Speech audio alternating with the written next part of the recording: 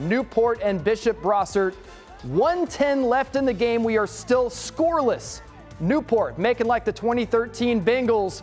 Throw it up to AJ. AJ Lowe goes up high to get it and almost turns it into six. Reach! Oh, not quite. So they still got to score. Look at that catch. Ooh, reels it in. Again, they still got to score. What do they do? Hand it to the bowling ball. Michael Martin rumbles in for the score, the first points of the game, and it's all they needed. Look out for the ice bucket, coach. Newport wins it 7 0. I just knew, like, when he threw it, I was like, yeah, yeah, this is my time, yeah. And I, I already knew I was gonna catch it when he threw it. Like, that's just that's just me. I got the confidence. It means a lot, you know, because uh, like we uh, work hard and practice every day, then come out here and get a good win after a, tough loss last week, and you know, feels good.